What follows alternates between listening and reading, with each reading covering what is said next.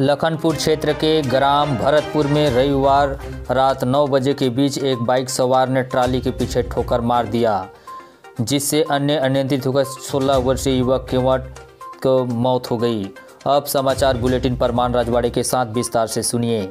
लखनपुर क्षेत्र के अंतर्गत ग्राम भरतपुर में रविवार 9 बजे के बीच एक बाइक सवार ने ट्राली के पीछे ठोकर मार दिया जिससे अन्य अनियंत्रित होकर 16 वर्षीय युवक संतोष केवट, पिता घूरन केवट पर सोड़ी कला लखनपुर की ओर से वापस घर जा रहा था, जिससे युवक का मौके पर ही मौत हो गया।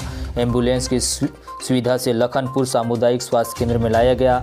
लखनपुर सामुदायिक स्वास्थ्य केंद्र के डॉक्टर पीएमओ पीएस मार्को के निर्देशन पर डॉक्टर रूपेश गुप्ता के द्वारा पीएम कराया गया, जिससे पता चला कि मृतक के सर में गंभीर चोट लगने के कारण संतोष केवट की मौके पर ही मौत हो गई। इसी के साथ समाचार बुलेटिन समाप्त हुआ। नमस्कार.